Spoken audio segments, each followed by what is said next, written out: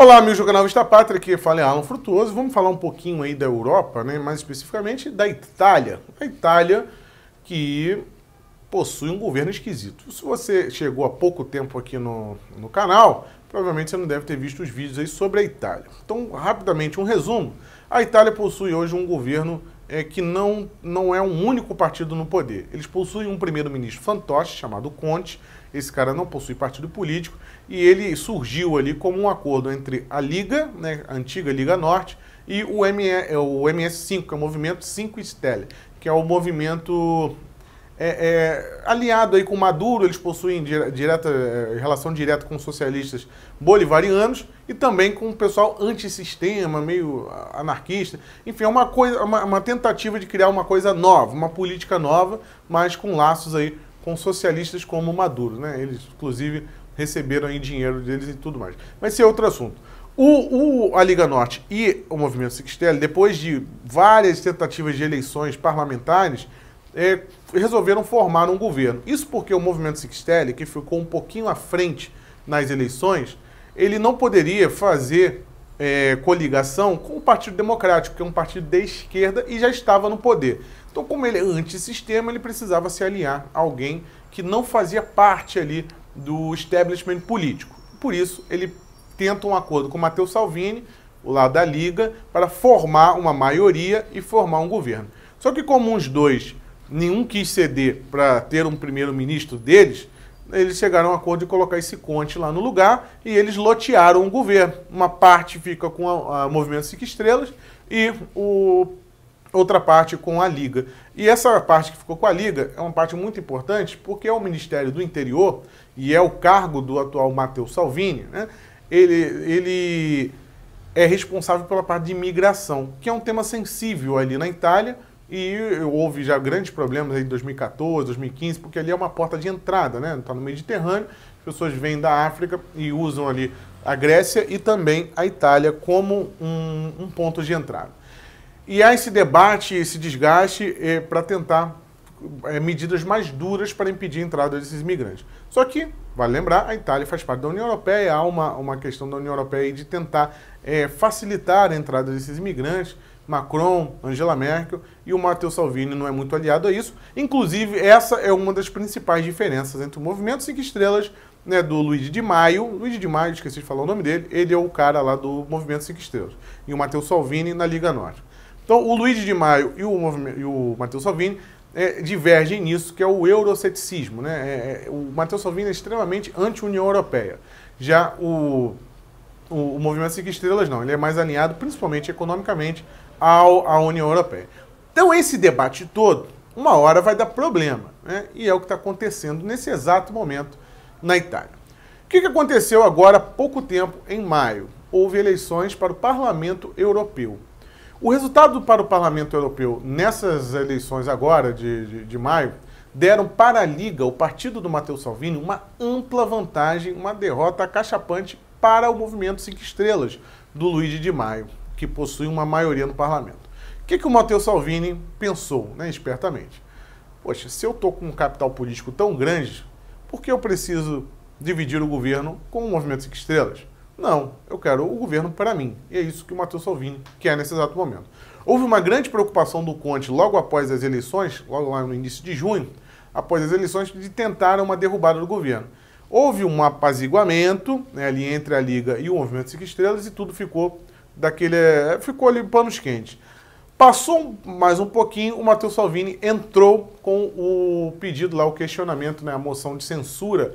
No parlamentarismo, gente, isso é uma espécie de impeachment, tá? A moção de censura, é, é o, o parlamento ele vai questionar o, o primeiro-ministro e uma votação dos parlamentares ali pode derrubar o primeiro-ministro, assim, ó, do dia para noite, tá? Na mesma semana ali. É por isso que eu brinco até que o sistema presidencialista do Paraguai lembra um pouco a isso, né? O impeachment do Paraguai é quase uma moção de censura. Então tem essa, essas nuances aí, inclusive de nome, né, nos parlamentos, mas no geral é isso. O, o, o Conte foi lá no parlamento italiano, deu as explicações e se salvou, tá? Ele não sofreu lá o chamado, vamos, vamos dizer assim, trazer para nossa realidade, um impeachment, não sofreu a tal moção de censura. Ele continuou no poder. Só que o Matteo Salvini tem uma carta na manga ainda, né, para derrubar o governo. ele pode renunciar. Sim, ele pode renunciar ao cargo de primeiro-ministro e sair do governo. Dessa forma, a coalizão né, dos dois ali, a coligação dos dois, vai, vai, vai dar uma minoria para o movimento Cinco Estrelas, logo ele não forma a maioria para governar e o parlamento tem que ser dissolvido e convocado novas eleições. Só que isso é uma estratégia arriscada, porque ao mesmo tempo que pode ser dissolvido o parlamento e convocado novas eleições, por ele não ter mais a maioria, né, Movimento Cinco Estrelas, Liga Norte. Juntos os dois tem maioria. Saiu Liga Norte, vai ter minoria comparado a todos os outros restantes, os restantes ali. Só que há um, um, temor, né? Sempre que um candidato de direita aparece, há um temor do sistema, do establishment em geral. Então, caso o Matteo Salvini arrisque fazer isso, já há movimentações para todos os outros partidos se aliarem ao Movimento Cinco Estrelas e dessa forma formar uma maioria contra o Matteo Salvini para impedir novas eleições e aprovar o orçamento na virada de 2020. Então essa jogada ainda está sendo muito estudada pelo Matteo Salvini, que vale lembrar, ele quer formar um governo aqui, ele quer dissolver o parlamento, convocar novas eleições e dessa forma fazer uma coligação né, com Força Itália, né, partidos aí do, do Berlusconi né, e outros partidos de direita e alguns até é, mais é, nacionalistas para poder formar uma maioria e de fato resolver os problemas que ele acha pertinente é, serem resolvidos da forma que ele quer. O que, que ele quer resolver? Há pouco tempo agora teve um, um sério problema com a Marinha, porque como ele é o ministro do interior, ele comanda a polícia. Só que a Marinha ele não comanda. E aí ele queria fazer a interceptação dos barcos usando os navios da Marinha. E o Ministério da Defesa já está com o movimento Cinco Estrelas. Então ele comanda a polícia aqui, o Liga, mas o outro está com outro cara que pensa diferente. Então um não bate com o outro. Aí acaba dando uma inviabilidade da imposição de suas políticas públicas. Né? Então essa confusão é o que mais incomoda o Matheus Salvini, e ainda mais quando ele possui aí essa aceitação popular já com o crivo das urnas, né, com essa votação expressiva para a Liga, para o Parlamento Europeu, ele se sente confiante em ter uma nova eleição, formar uma maioria e dessa forma colocar né, a, a, sua política em prática. Vai lembrar que o Matheus Salvini é aliado do presidente Jair Bolsonaro. Eduardo Bolsonaro, aí, que vai ser o embaixador dos Estados Unidos, estava agora há pouco tempo lá visitando o Matheus Salvini, o ministro de Relações Exteriores do Brasil, Ernesto Araújo, também. O próprio Donald Trump, por muitas vezes aí, é, demonstrou também simpatia, inclusive se ofereceu até para pagar a dívida pública da Itália, que é um dos grandes problemas e uma das coisas que eu mais discordo aí com o Matteo Salvini, né, que é sempre isso, gente, é lembrar direita, ah, mas ele é de direita, o outro é não sei o quê. Direita serve para nos dar um norte, né? A pessoa está dentro daquele espectro. Só que nem tudo ali, ali existem nuances dessa, dentro dessa direita. E nem tudo que ele vai fazer só por ele ser de direita vai estar de acordo em comum né, é, entre as pessoas ali. E ele, é, ele tem a ideia de, de tentar alavancar o chamado Bolsa Família lá da Itália, e isso poderia colocar em xeque a política fiscal da própria Itália. Né?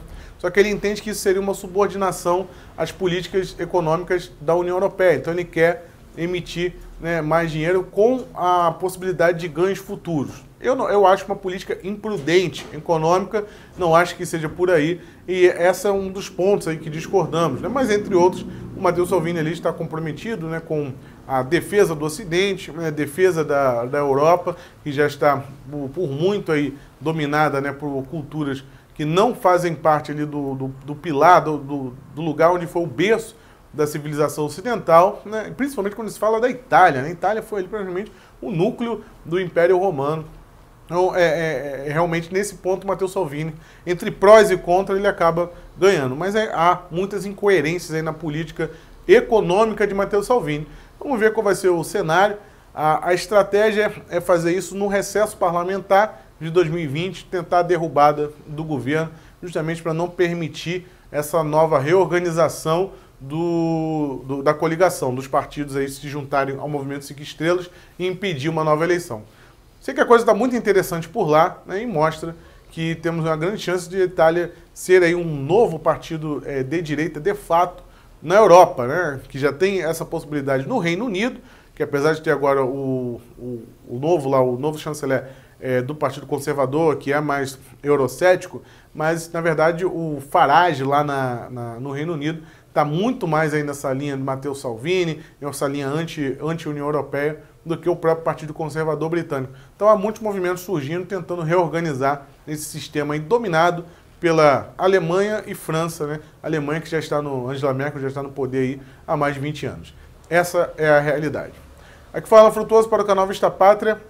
Se inscreva no canal, ative o sininho, compartilhe esse vídeo. Se puder ser um colaborador do financeiro do canal, primeiro link na descrição. Ou se você não gosta do Após, pode doar também através da conta corrente aqui embaixo. Forte abraço a todos, meus amigos. Tchau, tchau.